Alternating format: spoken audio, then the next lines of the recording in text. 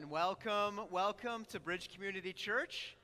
We're so thankful to have you here this morning on this crisp fall Sunday. Uh, it's a blessing to be here. Thank you for those of you that are joining us here in person, and we still love all of our people who watch us online. We're thank- thankful for you as well. Um, I've got a bunch of announcements today.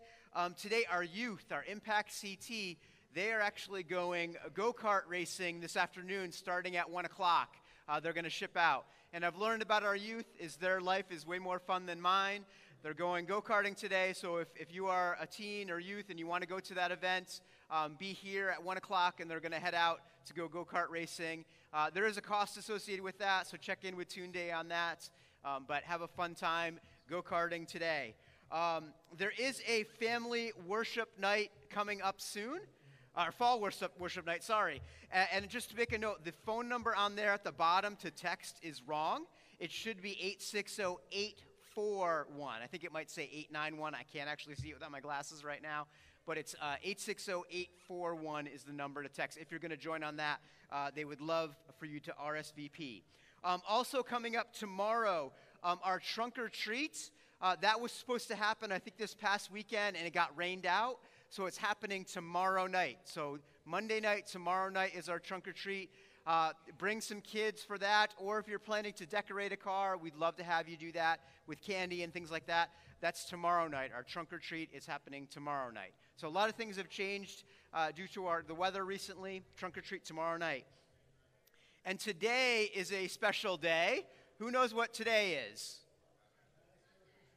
Pastor Appreciation Sunday. Uh, who here is thankful for Pastor Todd?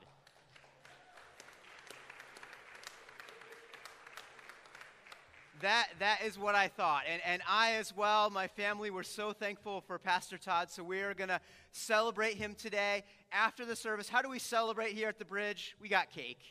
You know, so right after the service, head down to the fellowship hall and don't tie up Todd. I know you like to do that. There's going to be plenty of opportunity. But through the service today, think about encouraging words for Todd.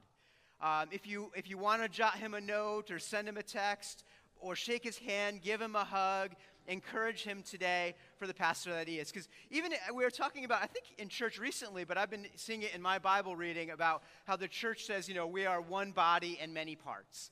And we all play a different role. And scripture talks about Jesus being the head of the church. And I just made up myself, I think Todd is our face because he is the one who, in seeking God, sets up the community and the culture that is Bridge, Bridge, Community Church. Why this church feels so welcoming, why the bridge feels like home to so many of us, is what Todd has put into it. That he has sought after the Lord, and God has placed him here in this city of Bristol to love on us, to love our community, and run this church and lead this church. So, again, yeah, let's give it up for Pastor Todd again. So, definitely this morning, be praying for Todd and his family, and let's give him words of encouragement this afternoon. So, pray with me. I'm going to pray, pray in for Pastor Todd and, and open up our service. So, pray with me. Heavenly Father, Lord, we thank you for Bridge Community Church. We thank you, Lord, that you have given us a place to call home where we worship you. Lord, church community is so essential in our walk with the Lord. And we thank you, Lord, that you have placed a leader over us in Pastor Todd to love on us, to guide us, uh, to, to share your word every Sunday morning and even throughout the week, Lord. Uh, we pray just blessing over Pastor Todd that he would feel, feel loved, not only by you, his Father in heaven, Lord, but also by everyone that walks through these doors every Sunday morning that he would be encouraged, that he would be loved, that he would know that Bridge Community Church is for him and loves him, Lord. And we just pray that you would bless him on this Pastor Appreciation Sunday, Lord. Well, Lord, we thank you that we can come together and worship you. We have a place to love you and that you love us, Lord. So as we worship this morning, let's get our hearts and our minds focused on our true Father in heaven, our Lord and Savior Jesus Christ. We thank you and praise you. Jesus' name, amen. One more round of applause for Pastor Todd.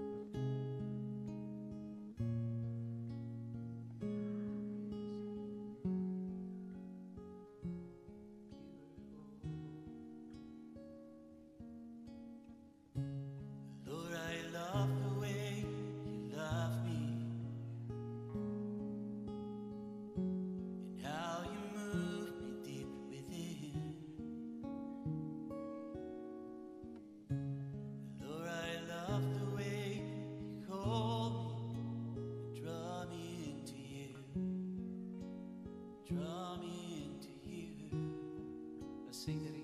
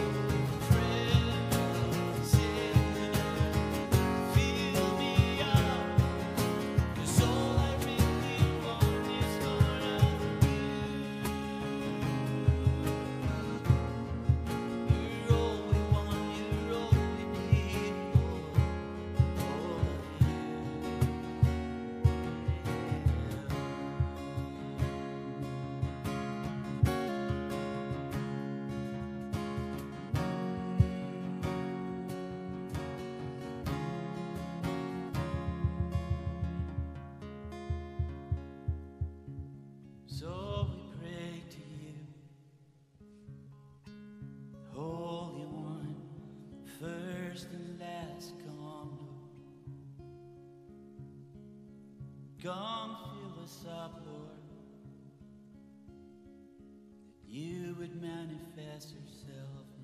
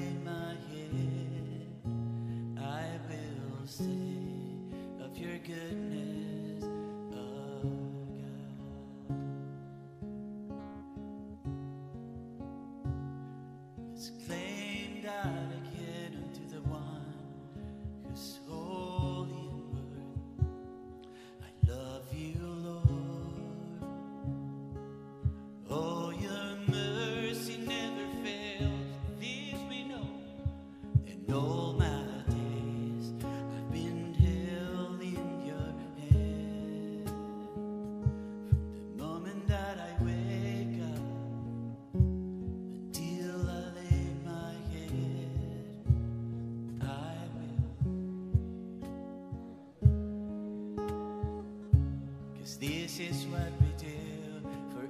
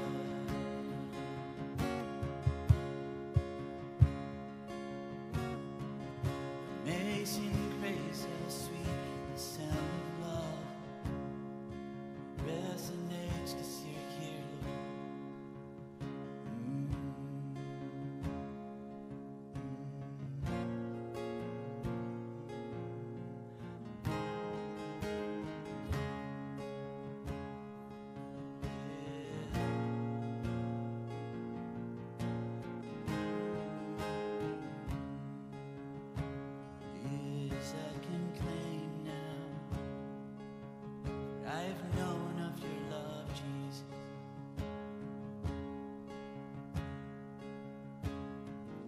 Your goodness is running out, is running after me. Yeah. Your goodness is running after is running.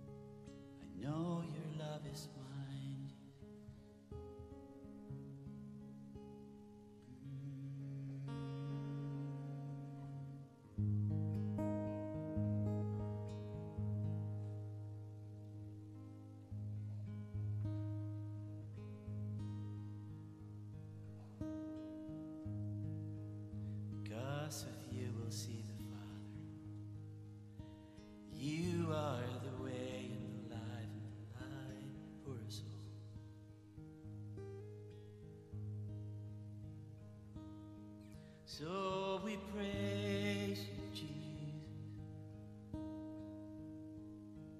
We praise only you, Lord.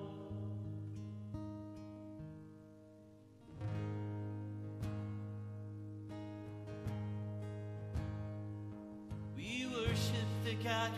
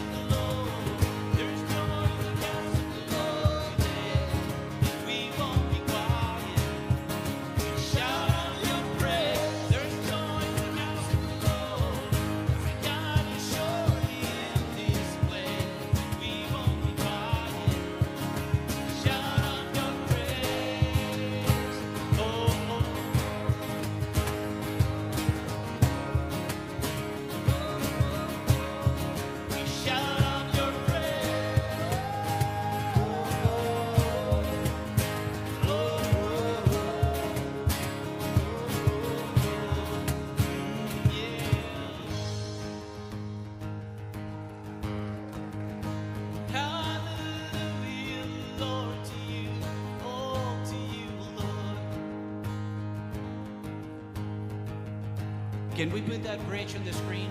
Cause we were the beggars,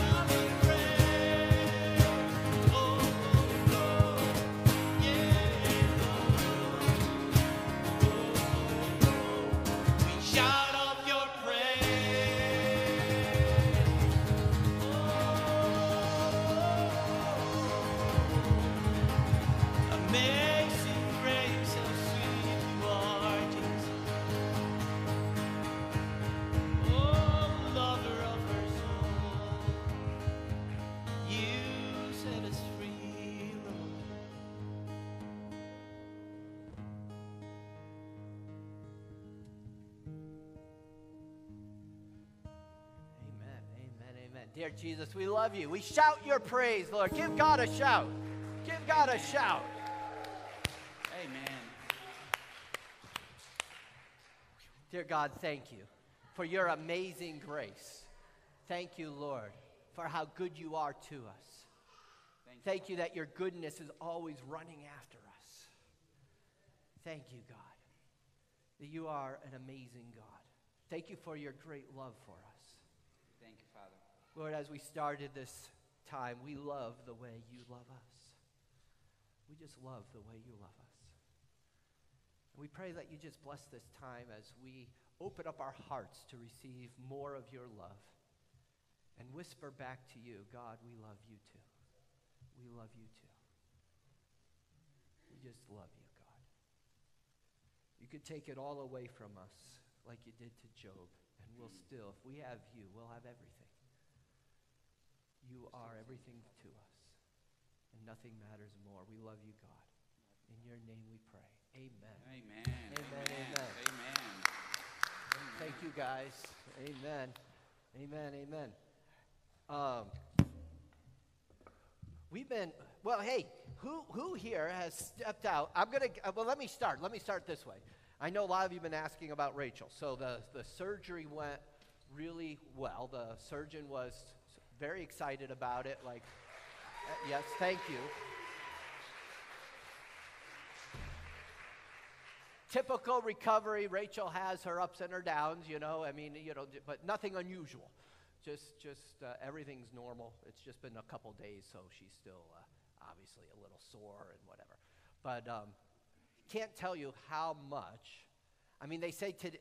I didn't know. In the bulletin, it says today is Pastor Apparition Sunday.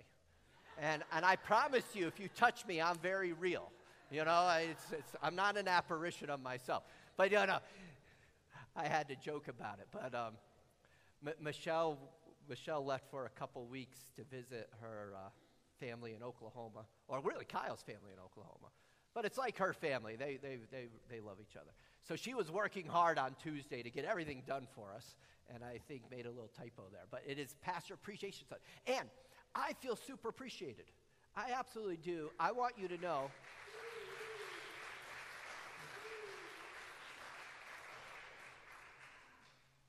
That you mean the world to us. To me and Rachel, you, you really. I, I brag about you. You know, on Wednesdays we have our um, pastor's prayer time and pray with. eh, I say prayer. We pray. We're together for about two hours. We pray about 15 minutes. It's really, it's really us just being friends, loving each other, catching up on each other's lives. And um, I brag about you. I, I think I have like the best church, like in the world. Like, really, the way you love Jesus, you love to worship. I mean, well, you listen to me speak. I mean, that says a lot. And, um, and, and beyond that, you know, like these last few months, obviously, has been a difficult time for us. Your support, your prayers, your encouraging words, your, you know, many of you sent notes. And I know not all of you are note writers, but some of you who aren't wrote, write, note writers still sent notes because you cared. And thank you. And your gifts and just the way you've really, really, and, and just, you mean so much to us. Words can't really describe how much you mean to us and how much we love you and we know you love us. And it's really a beautiful thing. And so thank you. Thank you for your prayers. Thank you on Pastor Appreciation Day that I don't feel like today's any different from any other Sunday. Like I always feel so blessed and appreciated by each and every one of you. I mean, I feel like you appreciate me every every week, every week. I hope you do. If you don't, you really fake it well.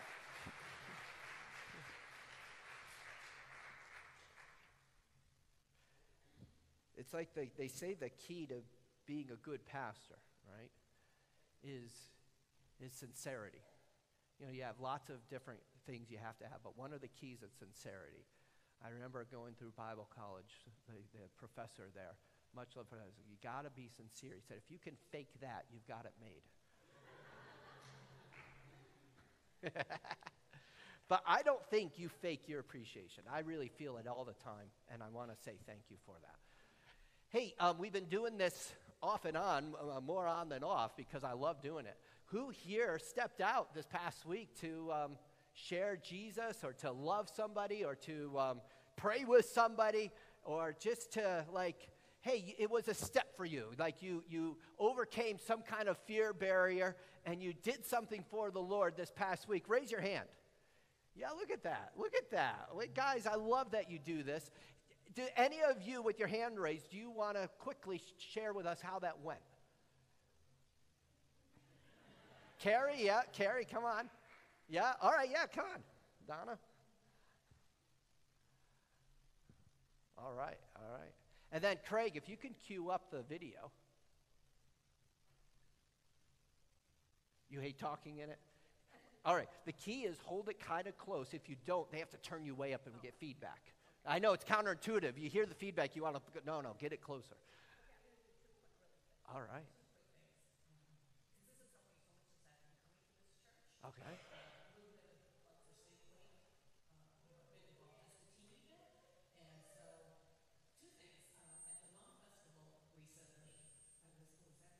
No, that's them back there. Tom, can you fix that? um, there, I, we went to see some of the vendors. And, Oh, yeah. Um, we were walking down, and I met this one woman on her booth and chatting, and she mentioned that they give some of their money for leukemia because she has leukemia. Oh, wow. And, you know, it still didn't hit me at the time to stop and pray for her. So I said, you know, we went on. I said, I'll come back uh, to buy something from her. And then when we were coming around some of the other booths, there was a booth where they were doing tarot card readings, which made me really mad. And I just prayed as I went by. And then there was um, another booth from um, the Church of Enlightenment, which is like a witchcraft church, and they were trying to get people to come in. So I prayed when I went by that, and then I went back to the booth to get the candle, and I'm like, Donna, you should be praying for this woman here. You know, these people are out there not having any problem promoting what they want. So I asked her if I could pray for her, and she was so open to it. So I just stepped out and prayed for her healing and for God to bless her business. So that was that was a big thing for me.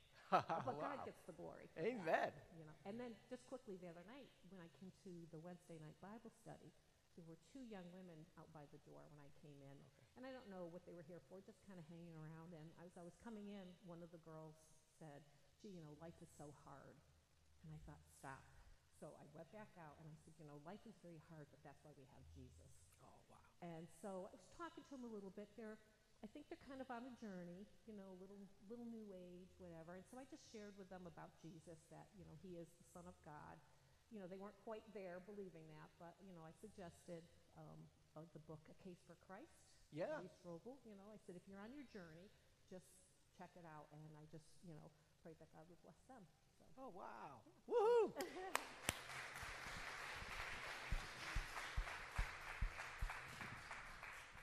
And Isn't that awesome? Like, um, a lot of the nights here, a lot of you maybe don't know this, but we have NAA, Al Anon, Nar-Anon, and they meet here many nights. So uh, if, if, if they weren't in our Bible study, they're probably there for that. And you could just share Jesus. That's so awesome. So very cool. So very, very cool. Love that. All right, who's next? Carrie, come on up. I love sharing these just because I want to be an encouragement to you. I am not always the most bold person out there. It takes time to step into it, and God starts to give you that boldness to step out. Um, two times at work this week, had a gal, young gal, and she was telling me she had had a stroke, and I'm like, oh, well, I, I couldn't tell you had a stroke. And she it's a birth defect. Anyway, at the end of, of her facial, I asked her, I said, I know this might sound a little weird to you, but c- could I pray for you? Like the Holy Spirit is saying, pray for her, pray for her, pray for her. And I'm like, all right, I'll do it. And I said, well, you know, it's, it's weird, I know. So c- would you like me to pray for you? And She looked up with big tears in her eyes and she said, would you? And I just laid hands on her and I started praying for healing in her brain for um, other things that she had going on. And then after the facial, when we stepped out, I said, You call me anytime if you need prayer.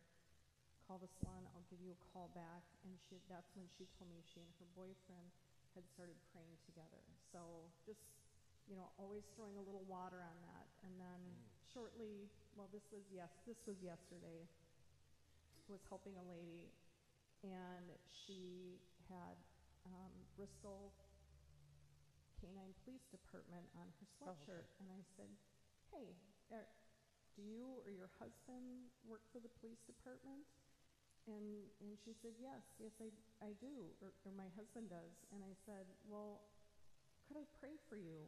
Would that be okay?" And, and she's like, "Stop! I'm going to cry." 'Cause I'm sure some of you know that there had been an incident recently, right? Please keep our officers and their families in prayer for what they go through all the time and never miss an opportunity to love on them and pray for them. Um, and I just told her, I said, I, I go to Bridge Community Church there in Bristol, and I said, I want you to know that our congregation loves you guys and we pray for you guys all the time. And she just broke down, and I just gave her a big hug, and that's it wasn't anything I planned on that day, but others see that too, and they're like, what's going on? What's the deal? They see Christ loving others through you. Step out. If it feels weird, so what? It's not about you. Just step out and have that testimony. Amen. Thanks, guys. Amen. That's awesome. You know, uh, just because she mentioned that with the police, Friday we, we rescheduled the trunk or treat till tomorrow night with the police department. So tomorrow from 4 to 7, the police are bringing a lot of their cruisers, their K9 unit, and their crime lab, their SWAT mobile. They're gonna and and they're inviting us to bring our cars and decorate them. And last year there was probably about a thousand people who came. And one of the greatest ways it, it just blesses families here in the, in, in the community, but also blesses our police. They're going to fill our parking lot with their, and they'll be here, and you can go and let them know, like Carrie said, hey, we're praying for you. Thank you for the ways you're serving us.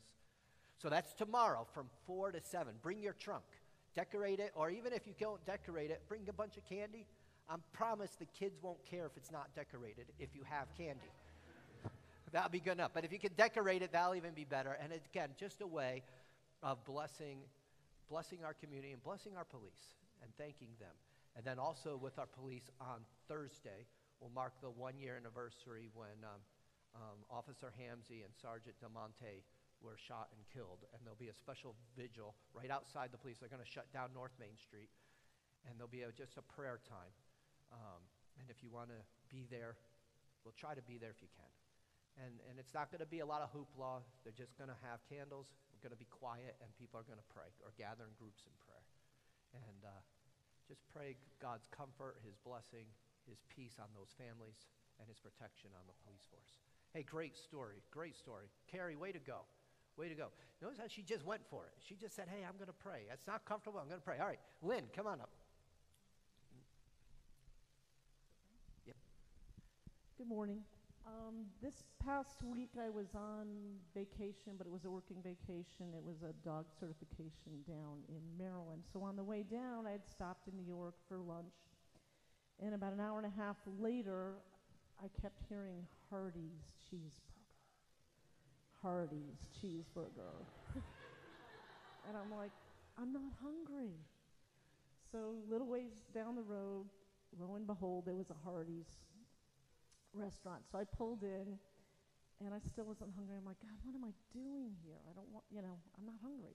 I have a time limit here.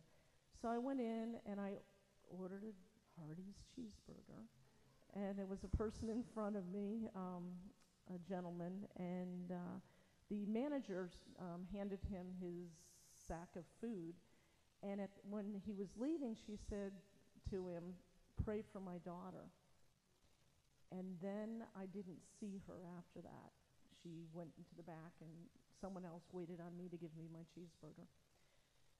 So I waited around a little while, and I asked the, the people, you know, where's your manager? And they said, oh, we don't know. And so I decided to go back out to the parking lot, and I got in the, in the van and was ready to go.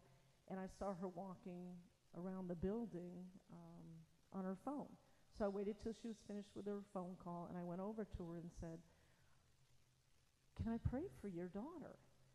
And she broke down in tears, collapsed on the ground, and was just so thankful that someone would even care that overheard the conversation to pray for her. So we prayed for her, and her daughter had, was in the hospital for two, two days. They thought it was a heart attack, um, but they couldn't figure out the cause because the tests weren't showing that it was a heart attack. So we prayed. I prayed for her family. I prayed for salvation for her family and her daughter and that and left. Um, and so on the way back, coming back home um, yesterday, I stopped in and found the manager again, and she recognized me right away. And she said, Oh, I got to tell you, I've been trying to call you all week, but I had to turn my phone off. And she said, My daughter's better. She said, I talked to the doctors, and right after we had talked, yeah when we were praying, when we were praying, they fa- a, a doctor happened to walk by that knew what it was, and it was some kind of muscle spasm that started in her abdomen, went up her side, and into her chest. And so she walked out of the hospital hours later, Amen. which was awesome. And then what was interesting is that she said, you know, she was crying again and praying. She says, You know, the gentleman that was in front of you um, that I asked to pray was an area pastor. And he didn't really give her the time of day to pray for. And she said, How can a complete stranger have more compassion for me and my family than someone that works for God? And that broke my heart. It broke my heart that we need to get out there as individuals and as pastors outside of our four walls. And that's what City Quake is going to do for us here. That's right. Amen. Amen.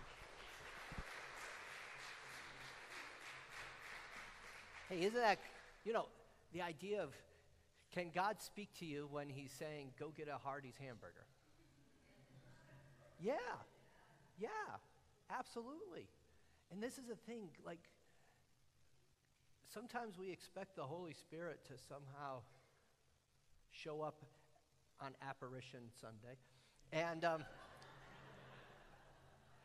and like make it all like weird and magical. And sometimes it's just as simple as them saying, hey, you know what? Why don't you go to get some pizza and there's going to be somebody there?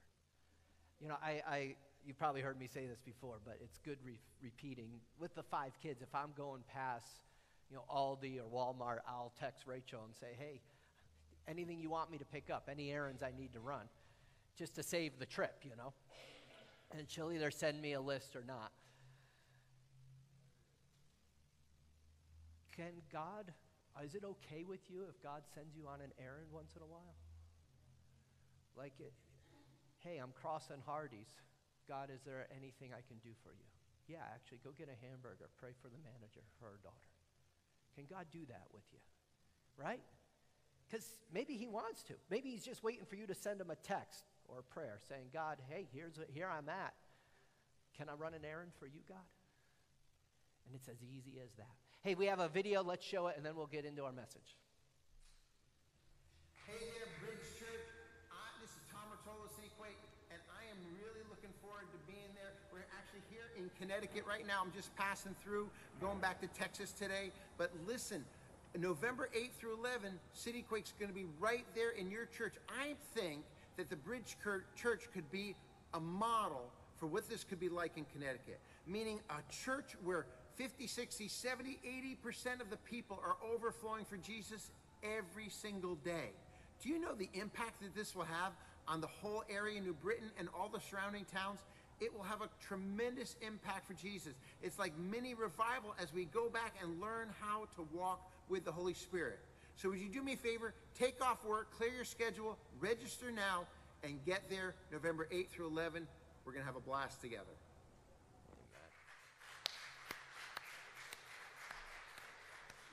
That's one of our speakers, and uh, like he said, do what you need to do. And there's brochures on the back, and uh, if money's in the way, let us know. We, we, we really uh, want to see everybody go if they can. All right, very cool. Well, the power of God's love. We've already been hearing stories of the power of God's love. Three stories we just heard. The power of God's love. There's probably no more powerful force on earth than the love of God.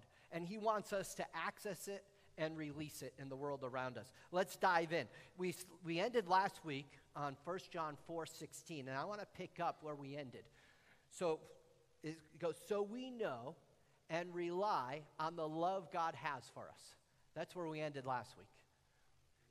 God wants you to deepen your knowledge of His love, and that word know means experience. He wants you to have a greater experience of His love, and He wants you to come to the point where you totally rely on it. Like you take it for granted almost. You expect it to be there for you because it's always going to be there. His love never fails, it never runs out. It's always there for you. And He wants you to experience it so many times that you don't just know in your head that you can rely on His love, but you experience it. I said last week, just like when you sit down, you don't test the chair, you just sit down. You've sat down on so many chairs over and over and over and over again that you just rely on that it's going to be there for you and it's going to hold you. And that's how God wants you to treat His love. He wants you to rely on it, He wants you to depend on it. God is love. Isn't that interesting? God defines himself here as love. Now, those of you who, who know me know that we preach the whole Bible from Genesis to Revelation. We believe in all of it. If God's word is clear, for the decision's already made. Like, we, we, we believe. And we know that God defines himself as many things. We have his names written around here. One of the things that God defines himself as is agape love. That's the word here when it says God is love. It's the Greek word, not Philadelphia, brotherly love. It's the Greek word agape. Sacrificial love. God is pure, total, sacrificial love. God can never be divorced from this attribute or he would stop being God. In other words, when God is holy, he's also love, and when he's love, he's also holy. When God is just, he's also love, and in his love, he's also just. He is always, always all of who he is. He's never, ever only part of who he is. Always, God is love. His love is infused in truth, in justice, and holiness. And we talk about holiness and justice when we're on those verses. So I don't want you to think I'm overlooking that, but today we're on the verse that says God is love. And so we're going to talk about his love. God always loves you, he always completely loves you. Never is there a moment in your life where he does not love you. God is love. He goes on to say, Whoever lives in love, whoop, we're not done that verse. Whoever lives in love, I know, we're excited to get to the next verse. Whoever lives in love lives in God, and God in them. You need to protect your receiving of God's love and your releasing God's love. Because when you stop living in that love, you stop living in God. Satan wants nothing more than to attack the part of you that experiences God's love. Because if you stop experiencing his love, you'll stop distributing his love. Then we'll stop having stories like that, what we just heard. We'll stop, and the world won't see God for who he is. Remember the verses before? We talked about last week. No one has seen God at any time. We're about to read a verse in a moment that says, As Jesus was, so are you in the world. See, Jesus came to reveal God to the world around you, and that's why God made you. And that's why you're here this morning, is to learn more, and so, uh, me too. How do we learn more about showing the world who God is? They say a picture is worth a thousand words. I would say it's worth much more than that.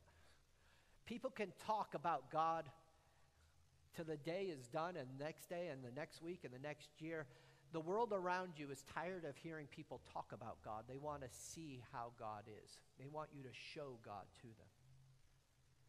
And so Jesus did not come just to tell us about God, and He did not come to show us what He could do.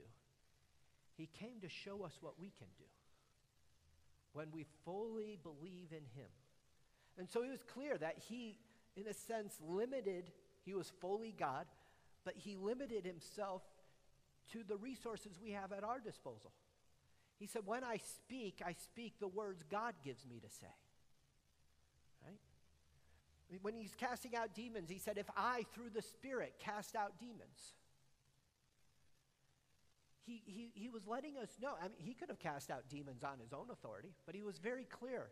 He said, No, no, I'm casting them out by the Spirit because, see, that's how you and I have to do it. We have to rely on the Holy Spirit. And so he's making it very clear. He didn't come just to show us what he could do. Genesis is all about what he can do. He spoke the world into creation. Revelation is all about what he can do. But Matthew, Mark, Luke, and John is showing us how we are to live, what we can do. We're to live like him, talk like him, be like him. And when we access his love and experience his love and live in that, then we release it and distribute it to the world around us. Now we'll know what it is to live in God. In other words, if you're not loving, you're not experiencing God, and then you begin thinking Christianity doesn't work.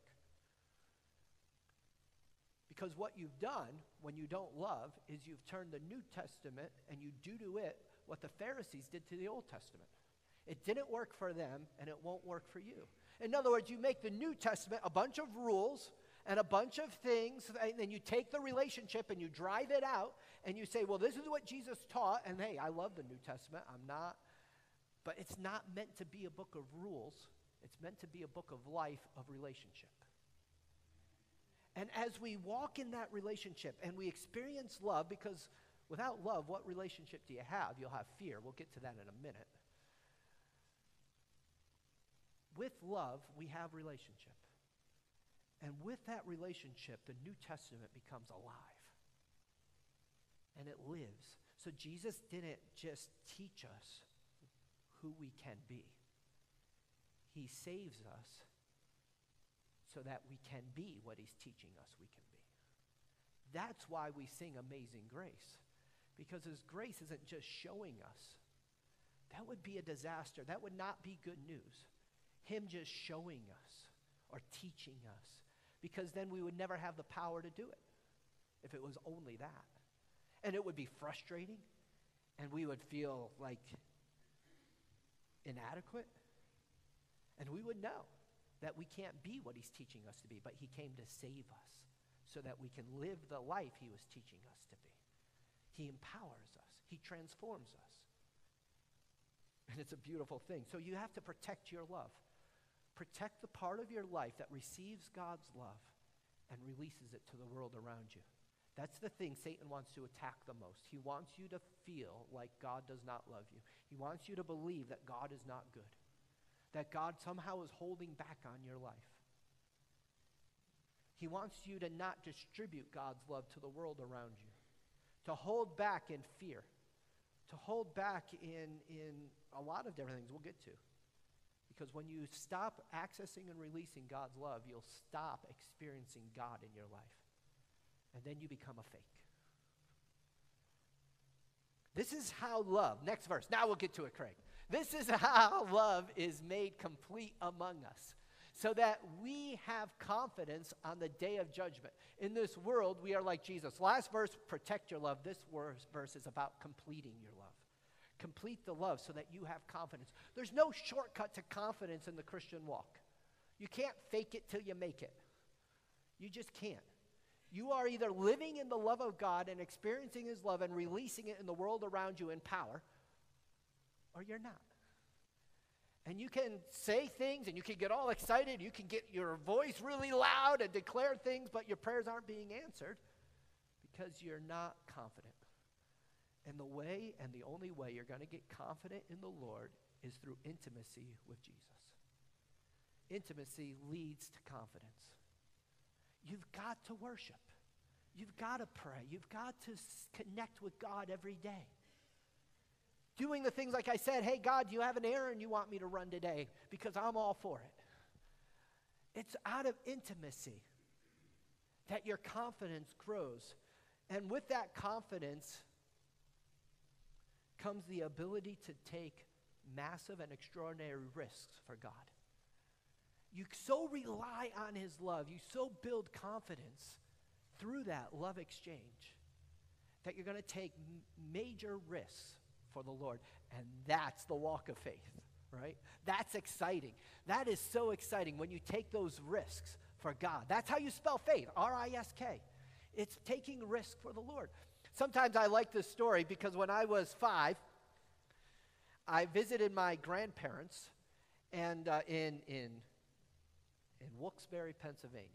My grandfather was the pastor of the Second Welsh Church. Now, either that, there were so many Welsh Christians in Wilkes-Barre that they had to have two churches, or the Welsh people were so divisive that one split off. I don't know because I really was a little kid at the time. But anyway, we were visiting, loved that church, loved my grandfather. He lived in an apartment, and uh, in the apartment was a pool, and in the pool was a diving board. I had never seen a diving board before. And I remember this very clearly. My brother and my dad loved diving boards. So I'm in the shallow end, and they're in the deep end, diving, off, having a great time. And because they were having a great time, and I saw them enjoying it, and because I love adrenaline, I always have, I still do, I wanted to try it out. I remember going out there onto the diving board, and as I walked out, I'm five, remember, I'm very little. I was terrified. My brother said, Come on, do it, do it, do it. My knees started to shake. Like I was scared. And I stepped back. I didn't do it. Well, well,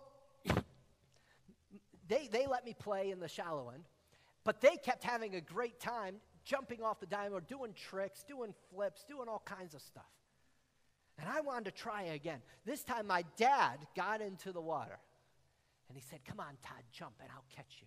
I walked out, same thing. I was just like so afraid. I just couldn't do it. I played. I kept watching them have fun and I kept trying. Now, my dad was down there saying one of these times, jump. And I don't know if I finally jumped. I seem to remember I got a little push from my brother. I do, I'm not sure. I'm not accusing him of that. I just think so. Anyway, I'm in the air. And I landed in the water, and my dad did catch me. I was fine. He put me up, and I'm like, and he said, do it again. Because he knew. He knew if you're going to really get it, you got to do it again. So I went up the round, I came over, and I jumped again, not nearly as afraid, a little, but not, and he caught me. Do it again. Well, after a while, he maybe was sorry because I'm just like, again, Daddy, again, I'm not even looking. I'm not scared at all. I'm just running off that diving board. And what used to be terrifying became super fun and exciting for me. What Satan wants you to believe is that the things of God are terrifying. And what God wants you to know is the things that you're afraid of will become the thrill of your life. It will be the thrill of your life. And that key is in the bottom of the pool saying, Jump, I'll catch you. Come on, just jump. You know what? Sometimes you need a brother in the Lord giving you a little push. Sometimes you need to hear the stories and see how they're jumping off the diving board, having a great time, and it creates this desire in you. And it's the voice of God saying, Jump, jump, don't be afraid. Because if you'll just jump, you'll discover that the thing you're afraid of is the most fun you'll ever have in your life. And pretty soon you'll be saying every day, Again, Daddy, again, Daddy. I want to jump again. I want to do it again. I want to pray for that person again. I want to share your love again. I want to see a miracle again. I want to do these things for you. God will want to use you, every one of you. See, we think it's about us and how smart we are or how gifted we are or how well we can speak. It's never about you, it's always about what He can do through you. It's what He can do through you. It doesn't matter how gifted you are, or smart, or rich, or educated, or any of those things. Because He's the same through you as He is through me. It just doesn't matter how young you are or how old you are. He can do what He can do. And it's the same. He's powerful. You get this confidence, this faith, by living in His love. You can't conjure it up. You can't fake it. You can't just, it's going to be through living in it. There is no fear in love. Let's go. In this world, so they, let me finish reading. This is how love is made complete among us, so that we will have confidence on the day of judgment. There it is. In this world, we are like Jesus. We are like Jesus. That is the identity that God wants you to have, that you will be like Jesus. What would Jesus, how would he operate if he worked where you work? If he went to school where you go to school? If he lived in the neighborhood where you live? If he lived in the home that you lived? How would Jesus be? That's how you're to be. And here's the good thing is his grace is going to be there for you. His grace is going to be there so that you can do it. All right, let's keep going. There is no fear in love, but perfect love drives out fear. Don't let Satan trick you into thinking God is waiting to punish you or hold back something good from your life. This is his trick as old as the Garden of Eden, where he wanted to make Adam and Eve believe that God's not really good. Like he's keeping something really special away from them. And he loves this trick. We saying your goodness is running after me. It is because he loves you. There's no fear in love. Perfect love drives out fear. God loves you perfectly. God loves you perfectly. Say that over yourself for a moment. Just say, God loves me perfectly. Here we go. God loves me perfectly. Say it one more time. God loves me perfectly. He does. He absolutely does. He wants you to have the greater blessings. He wants you. He wants, like, I have five kids. If I had it, and I don't, but if I had it, I would give each one of them a million dollars. Right? If I had it, I'd give each one of them a brand new car. Right? If I had it, I'd give each one, if I could, the best education possible. The, growing up in church, loving God, I want them to have the best I can offer them. In fact, I want them to have more than what I can offer them because they're my kids and I love them. You are the child of God. He wants you to have the best blessings He could possibly give. He wants that for you. He does. There's never a moment He does not want that for you. He wants it for you. Why do I not always give my teenagers, though, the keys to the car?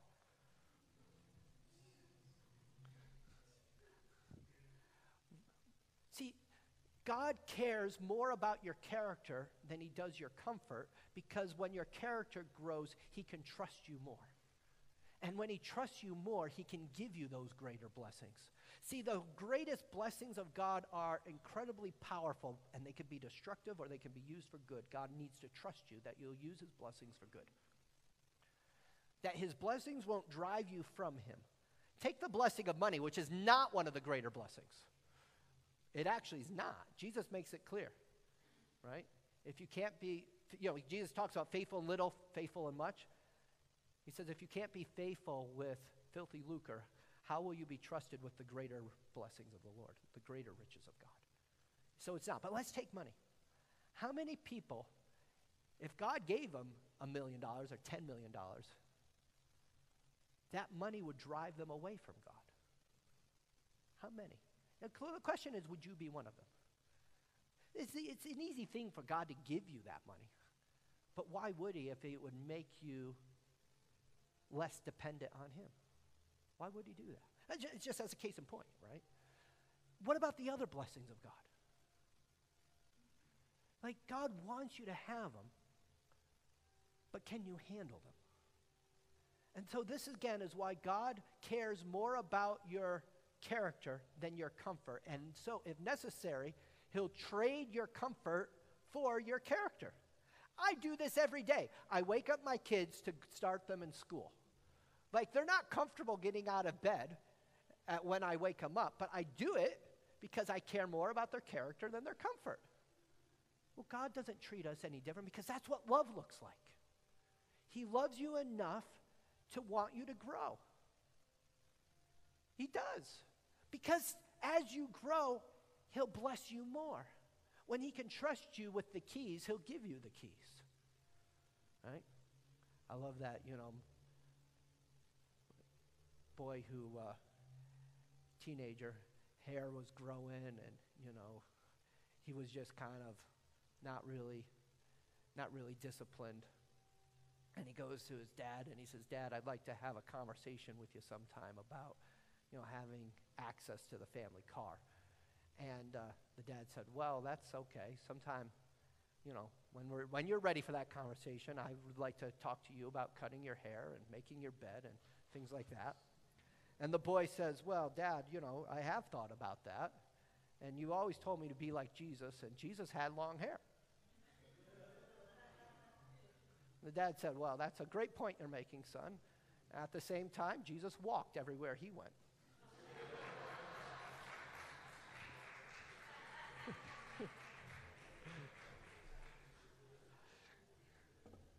All right. God loves you perfectly. He wants you to have the greater blessings. One of the things that he wants you to know is that you are always safe in his presence. You are always safe, completely safe in the presence of God. See, you rely so much on his love, you're safe. And because you are completely safe, again, you make extraordinary risks for God and for the kingdom. Because you know you're safe. He's in the pool saying, I'll catch you. You can't drown. He's going to be there for you. And because you know you're safe and you can fully rely on the love of God, because you've experienced it, not just because you've had it in your head, through intimacy, you've known God in this way. And so, what God doesn't want you to do is to rely on His promises. Whoa, did I just say that? Yeah. He does not want you to rely on his promises. He makes you promises so that you can learn who he is and you rely on him. My dad wasn't wanting me so much to rely on the promise of his catching me. He wanted me to go through the air and experience him catching me. Right? So Jesus doesn't just give you what you need. I say this a lot because it's so important. He becomes what you need. And he gives you a deeper relationship with himself. He becomes your peace when you feel anxious and invites you to experience him as your peace. He doesn't want to just give you peace, he wants to give you a deeper relationship with himself. When you're feeling down, he becomes your joy and invites you to experience his joy and the joy of knowing him. And so you take great risks for the Lord. You s- step through your fear barriers to do great things for God. All right, because fear has punishment, this is our last verse. Because fear has to do with punishment, the one who fears is not made perfect in love. Because fear has to do with punishment. I believe for every one of us, God wants us to go on a very deep journey of discovering why there's fear in our life. In the Bible, 12 of the greatest people who ever lived were the disciples of Jesus. And several times, more than any other question, Jesus asked them, Why is it you have fear? Why are you afraid? Why are you afraid? Now, if some of the most bold and courageous people in the Bible and in the whole history of the world needed to be asked this question of why they were so afraid, do not think you do not struggle with fear. You do. We do. We all do.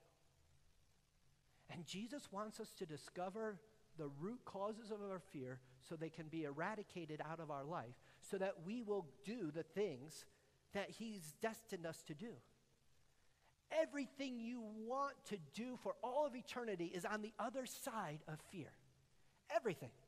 And if you don't get over those fears, you're going to live in a way that is deprived and depleted of the things that God is good. See, Satan wants you to believe God's holding out on you. Really, he's putting fear barriers in your life to keep you from having an eternal impact for the Lord. That's what he's doing. Now, three things you need to know that helps with fear. And they're, they're found, God has not given us a spirit of fear, right? But of love, of power, and a sound mind. All right, here's the three things you need to know about God. Those those three things. One, God loves you. Because he loves you, he wants what's best for you. So important you know that. He loves you, he wants what's best. This is why love drives out fear. But two, the sound mind, wisdom. God is wise. He doesn't just want what's best for you, he knows what's best for you. Right? Every politician I ever talked to say they want what's best for me. I- have my doubts that they know what's best for me. All right? But God both wants and knows what's best because he loves you and he's wise. But he's also powerful, uh, right? Love, spirit of love, of sound mind, of power. He can do what's best for you, and he is. He is always doing what's best for his children. He is always doing what's best for you. Even when it doesn't make sense, he's always doing what's best for you. You need to know those three things about God, or you're going to live in fear. Because you can't control all the aspects of your life. And when you try to control, you're going to do things that will mess up your life. You cannot control it. And so you got to trust the one who does control it, who is God. And that he loves you and he knows what's best and he's doing what's best. You know, why don't we share Jesus or pray with people or oh, every time people it's like, "Well, I'm afraid." See, the things God wants, the blessings he wants for you come on the other side of fear. So this deep journey to discover and eradicate fear in your life. And we call it different things like but self-protection.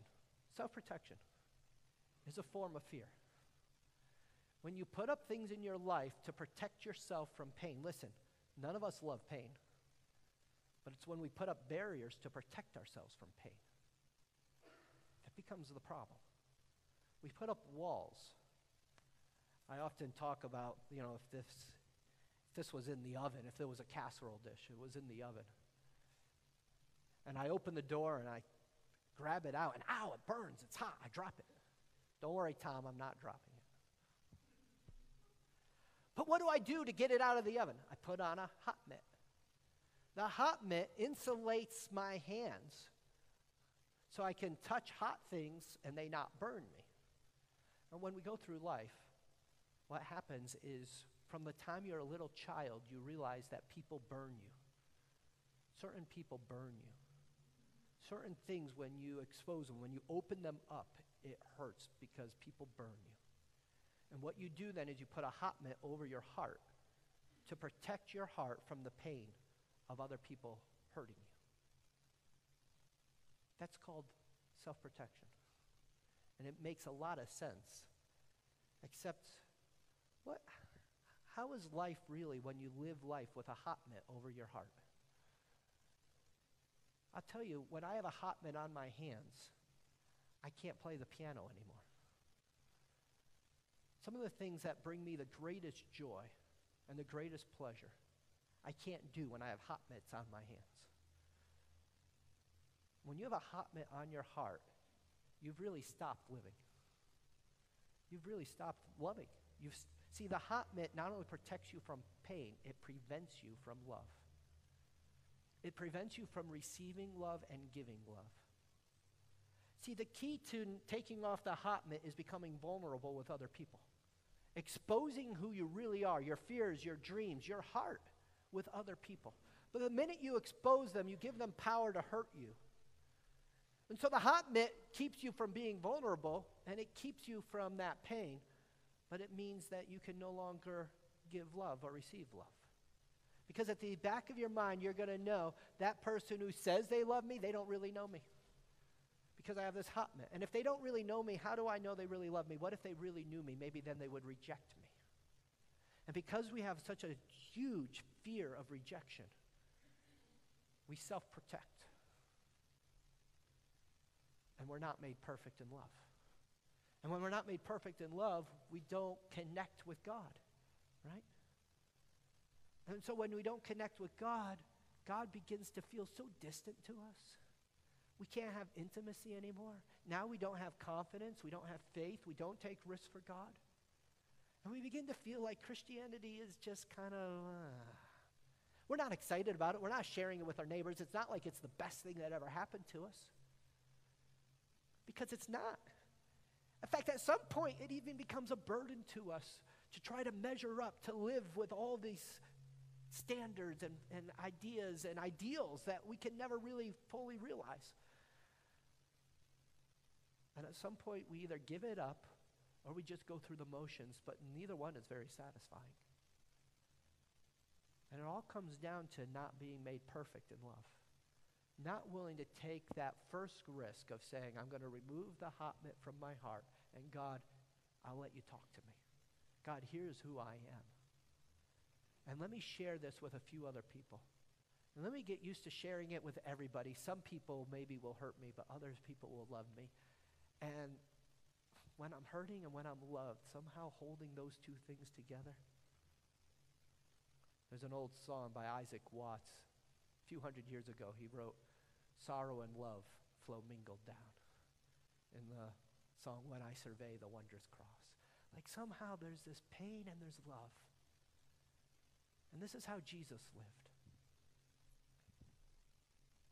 If we can have our worship team come forward, you know, when we're afraid of pain, afraid of rejection, afraid of failure, we begin to ask ourselves, will so and so like me? Will they reject me? Some cues that you're not being made perfect in love, well, the biggest one is anger. Glaring eyes, you know, uh, the, the, the clenched teeth, cutting words, all these signs of anger. You can never show anger and feel love for that person, or they won't feel it as love, I promise you. See, the implications that if there's no fear in love is that not only do you receive perfect love from God, but you give perfect love away. That you become predictably safe and constant. The implication is that as a church, we've developed this culture. The safest place to be should be this church. No fear of condemnation, shame, embarrassment, because fear is not a part of love. Some cues that we're living in fear is anger, wanting to control, wanting to punish other people, wanting to make them punish them emotionally if they cross a line to hurt us. As soon as they cross that line, we make them pay in different ways so they will never cross the line again. Sometimes another cue is doubt. We live in doubt. We question things. We're not going for it. We're, we're, we're confused by a lot of things. We feel ourselves inadequate and unable to do the things for God because somehow we think we have to rely on ourselves instead of on Him. We get overwhelmed. We don't want to start. We don't begin. We begin to feel depressed. These are all signs that we're living in fear. And so we need to become the safest, most predictable people on earth. A culture of safety, a culture of perfect love that the world around us can know and rely. Our families can know and rely on our love. Our neighbors can know and rely on our love.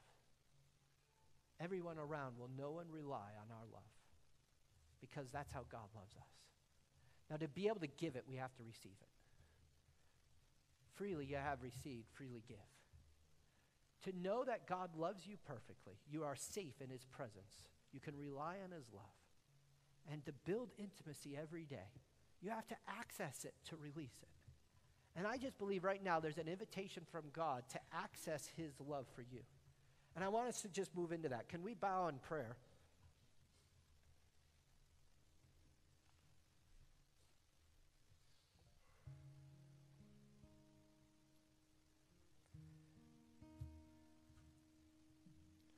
God does not want us to be a slave of fear, but to know that we are the much loved child of God. Much loved child of God. That his love is greater than fear. That you don't live in self protection, that you don't hold back, but you know, like he's in the pool saying, Come on and jump. Discover how exciting life can be when you know I'm always here to catch you. And you start doing great things for Jesus. God wants you to have the greatest blessings. He doesn't want you to have the minor ones, He wants you to have the great ones.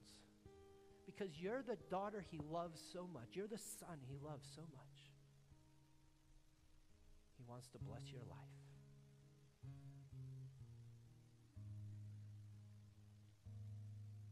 Just receive, open your heart, take off the hot mitt. Start telling Him the things. I love that verse with Abraham when he's about to sacrifice Isaac. God stops him, of course. That's where we get the name Jehovah Jireh, that God who provides.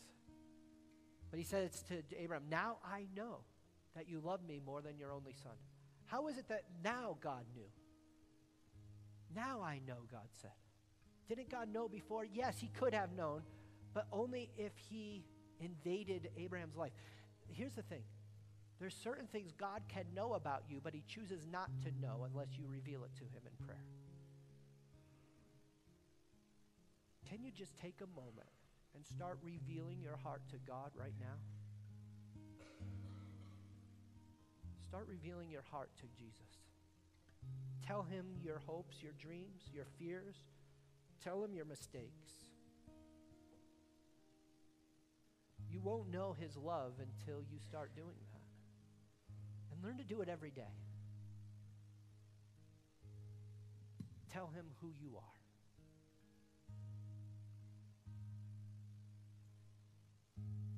Jesus said that in the end days, many will come saying, Lord, Lord. So they're calling Jesus Lord.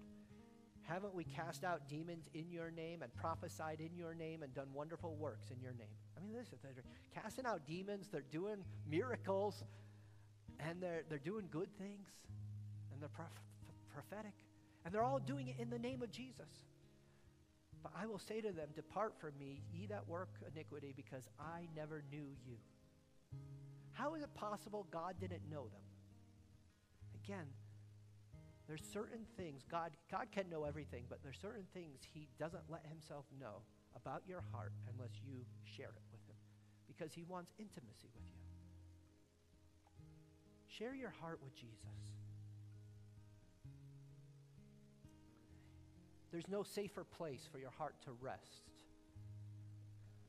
than in the presence of Jesus.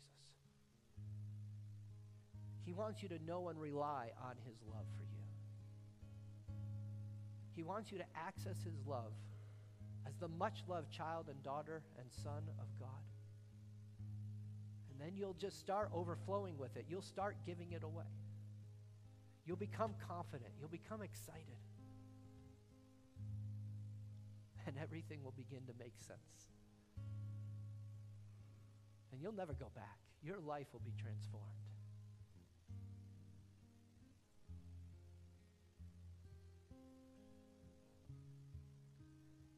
Tell God that you give Him permission to take you on a journey to explore fear in your life and to eradicate it. Tell Him that you want that. I don't believe Jesus was asking a redundant question when he asked his disciples, Why are you so afraid? I think he was inviting them to have a conversation with him about their fear. And he was starting the conversation by saying, Why are you afraid? He wanted them to answer the question. And he wants you and I to answer the question why are we afraid? Why do we hold back? Why do we not pray? Why do we not share our faith? Why don't we take extraordinary risks for God? Why are we afraid? He wants you to answer those questions so that He can show you that He is reliable and dependable, that He is safe, and you can trust His love. Dear Jesus, we thank you for your love. We open our hearts to receive it. I ask God for courage and grace for each person here to make a step to be vulnerable with you and at least one other person. To know your love and to take great risks for you, God. In Jesus' name I pray. Amen. Let's, let's stand and let's sing this wonderful song.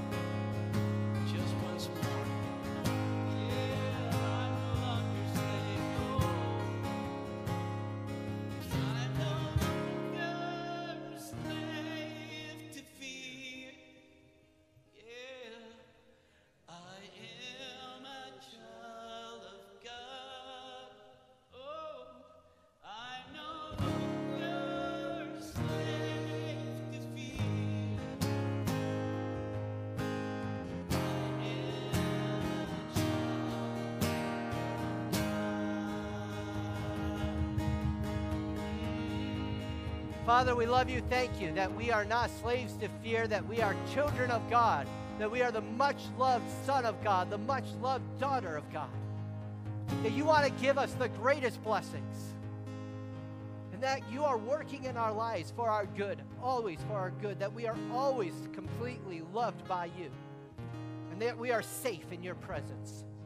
God, give us courage and grace to walk in this love to count and rely on this love, to be confident in this love, to take extraordinary risks for you and for your kingdom, to build a story and have an impact that will last for all of eternity.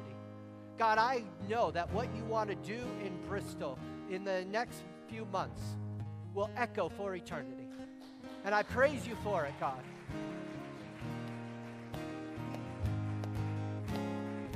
I pray you use each and every one of us in Jesus' name. Amen.